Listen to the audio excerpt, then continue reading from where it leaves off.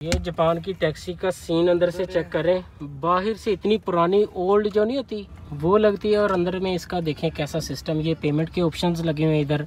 और ये इसके पास यहाँ पे आपका मीटर स्टार्ट हो गया हुआ फोर हंड्रेड फिफ्टी येन से जो है ना आपका मीटर स्टार्ट होता है। और इसके अंदर ये देखें इसने क्या क्या लगाया वो बाबा जी के पास देखो ना क्या क्या आइटमें लगी हुई हैं ये टैक्सी के अंदर। अक्सर हमने, मैं आपको दिखाता हूँ ना अपनी वीडियो में जो पुरानी ओल्ड सी, फजूल सी टैक्सी होती है बाहर से, उसका इंटीरियर ये इस तरह का होता है और ये दरवाज़ा जो है ना ऑटोमेटिकली खुलता भी है और बंद भी होता है। ये देखिए, इसके लॉक के ऊपर इन्होंने लिखा हुआ है कि ये ऑटोमेटिकली खुलेगा भी और ऑटोमेटिक ही बंद होगा। और पेमेंट के ऑप्शन देखें, ये किस, कितने इसके अंदर लगे हुए हैं। यहाँ पर ये आपके सामने ये टीवी लगा हुआ है छोटा सा मोनीटर इसके ऊपर आप अपनी मर्ज़ी से यहाँ से लैंग्वेज सेलेक्ट कर सकते हैं इंग्लिश करके इन्फॉर्मेशन देखना चाह रहे हैं। यहाँ पे फेयर इन्फॉर्मेशन भी आ जाती है। यहाँ पे इनिशियल फेयर लिखा हुआ है ना 450 hundred fifty and up to 1.031 metre ये हमें सर्विस दे रहे हैं जी फ्री टिशू ठीक है? कहते हैं जी ऊबर टैक्सी यूज़ करें तो ये 50 परसेंट आपको ऑफ़ मिल जाएगा फ़र्स्ट ड्राइव पे। तो ये टिशू है इसके अंदर पॉकेट टिशू अभी उन्होंने हमें दिए हैं। तो यहाँ पे अभी देखें एडिशनल फेयर आ गए 80 येन पर एडिशनल 231 मीटर ठीक है।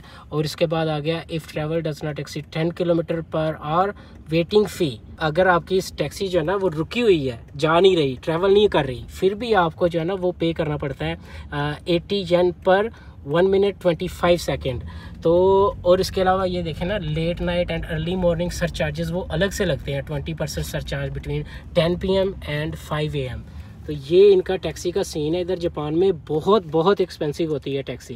जी, ये मीटर अभी चल रहा है ना तो उसके ऊपर आपको वो एक बार सी नज़र आ रही है, वो लोडिंग हो रही है। वो उसके जो है ना, वो मीटर के हिसाब से चलते जब वो एंड हो जाएगी तो उसके अंदर ए टी एन ऐड होते जाएँगे आहिस्ता आहिस्ता। वो भी एंड की तरफ़ जा रही है। अब देखें ए टी एन जो है ना, वो ज़्यादा हो जाएँगे इसके अंदर प्लस हो जाएँगे। ये देखें, ये इस तरह से ग्यारह सौ सत्तर एन अभी होगी इसके ऐड तो ये जो इसका सिस्टम है ना जैपनीज टैक्सी का, ये बड़ा ज़बरदस्त सीन है इनका। ये बाबा जी के पास जो है ना, आगे एक, दो, तीन मोनीटर लगे हुए हैं। उसके ऊपर मैप्स चल रहे हैं और इधर बाबा जी का यहाँ पे लाइसेंस लगा हुआ है। इनके लाइसेंस की भी देखें ना, उन्होंने अपनी लगाई हुई है वेरिफिकेशन के हमारे पास लाइसेंस है और गाड़ी का नंबर वगैरह जो है सारा, ये बड़ा सिस्टम होता है जापान में टैक्सी चलाना इजी नहीं है। जैसे कि अपने पाकिस्तानी भाई होते हैं ना सऊदीया दुबई वगैरह चले जाते हैं और जाके फ़ौर आप गाड़ी लेके लाइसेंस लेके गाड़ी चलानी शुरू कर दो। जापान में बिल्कुल भी आप ऐसे नहीं कर सकते। आपको लाइसेंस के लिए भी बड़ी मुशक्क़त करनी पड़ती है और जापनीज़ जो टैक्सी का लाइसेंस होता है ना, वो सिर्फ़ और सिर्फ़ उस बंदे को मिलता है जिसने तीन साल अच्छी गाड़ी यहाँ पे चलाई होती है।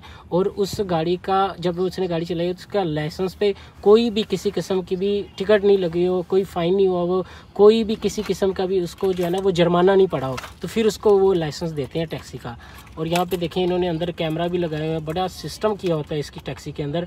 और बाहर से मैं अभी आपको इसकी शेप चेक करवाता हूँ। इतनी बसूरी इतनी यानी कि ना अजीब सी पुरानी सी लगती है और अंदर से देख लें आप।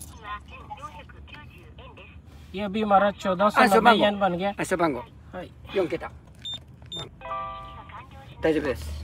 चलो जी ये वो सामने से ना बिल निकला है अभी। ये पेमेंट होगी हमारी।